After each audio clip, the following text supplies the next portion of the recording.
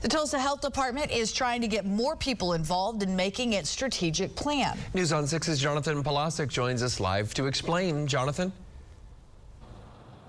Dave LeAnne, good morning. The health department is going to be holding listening sessions because it says it wants to better understand the health care needs the community has instead of making decisions without public input. Now, the health department has gotten some input from the community in the past through phone surveys and focus groups. However, the Tulsa Health Department Executive Director Bruce Dart says these listening sessions give everyone an opportunity to be heard, not just a small group.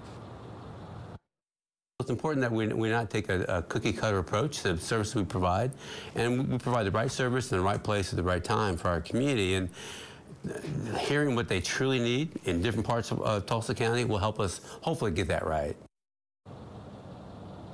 There will be several listening sessions available throughout the Tulsa area over the next several weeks. Live in Tulsa, Jonathan Polasek, Oklahoma's Own, News on 6.